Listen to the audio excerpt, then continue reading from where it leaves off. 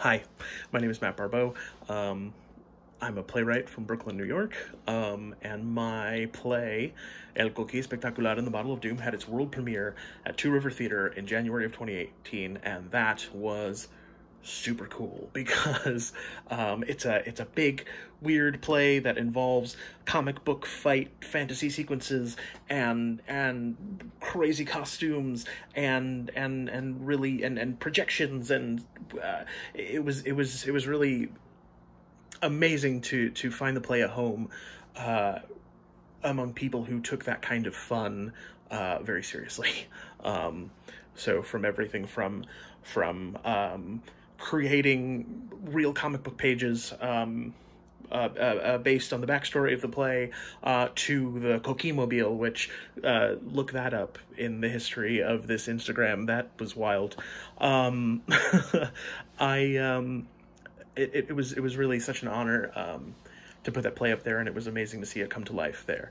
Um, the play actually has a long history uh, with Two River Theater, uh, as it was featured in the um, 2016 Crossing Borders Festival.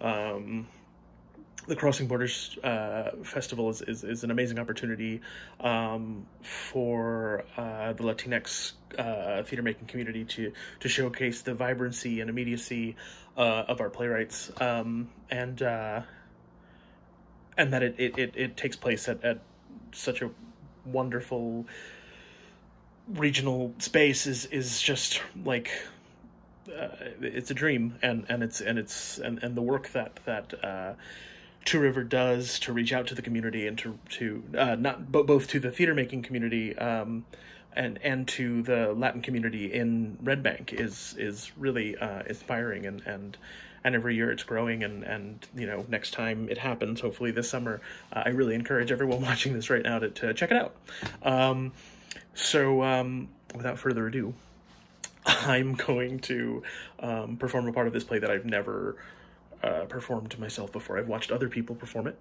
um, but uh, obviously, but I, have I've never I've never performed it myself. So we'll this is gonna go great.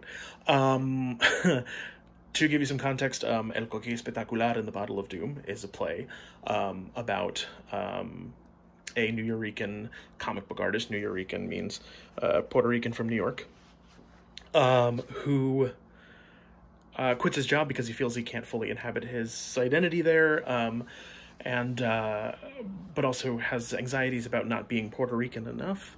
Um, and so he creates a superhero that is everything that he thinks it means to be Puerto Rican, uh, and he names it El Coquí Espectacular. Um, uh, coquí, in case you don't know, is a is a tiny tree frog that lives in Puerto Rico. Um, you can hear them at night; they're sort of iconic. of the island, um, you can hear them uh, uh, singing, um, and they're actually named after that um, that call, Coquí, Coquí, Coquí. Um, so in this scene, that's where the play begins, and then a whole lot of other stuff happens. Um, but uh, in this scene, um, Alex is explaining he's been pressured by his brother Joe to explain um, explain what's happening, uh, explain what he's creating. Um, and, and so finally he caves in uh, and tells him all this. So without further ado, here we go. A New Nuyorican artist from Brooklyn, dispossessed of his people, dispossessed of his job, down on his luck, and at the end of his rope, finds himself returning to his humble beginnings. But when one day he enters the Botanica around his way looking for his abuela's favorite incense, he is stopped by the old Santera in the shop, who, reading his destiny in the blue smoke of her cigar, gives to him a wooden box, carved from the flesh of a flamboyant tree. She warns him not to open it until he is safe and alone. The box, she says, had belonged to his father. Inside the box is a Vejigante carnival mask, unlike others he had seen before, though of exceptional craftsmanship. In the fading light of day, the mask glows dimly from within. Placing it on his face, our hero is transported to another realm, landing prostrate before an altar where all the Orishas lay hands on him.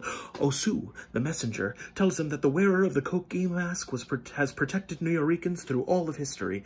The mask was forged by Ogun and imbued with the power of Chango. Its wearers are chosen by Elegua and protected by Yemaya. Our intrepid hero was chosen to take up the mask since its last wearer, his father, had been defeated prematurely in battle.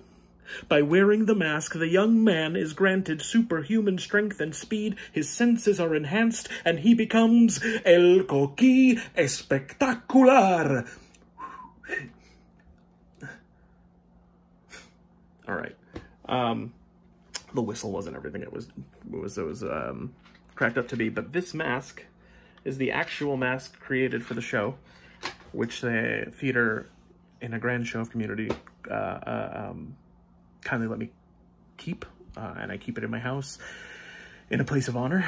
Um, and uh, and I, I can't wait until I'm I'm able to to to see another show at Two River Theater. See you guys soon.